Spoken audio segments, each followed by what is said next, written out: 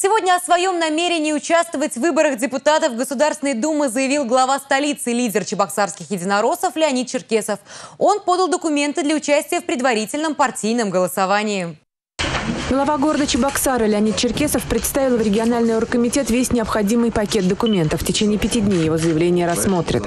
Посоветовался однопартийцами, посоветовался с коллегами и решил участвовать в праймерис. Я чувствую силы, а самое э, главное, я чувствую поддержку наших избирателей.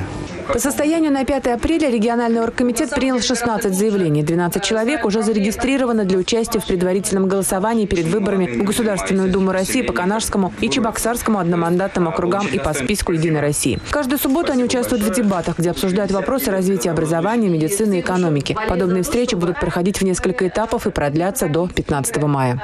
Среди участников предварительного голосования конкуренция не то что является чем-то плохим, она наоборот поощряется. Весь смысл самого проекта, огромного, большого на всю страну под названием предварительного голосования, выявить наиболее сильных, наиболее подготовленных кандидатов которых потом, впоследствии, партия будет выдвигать в Государственную Думу.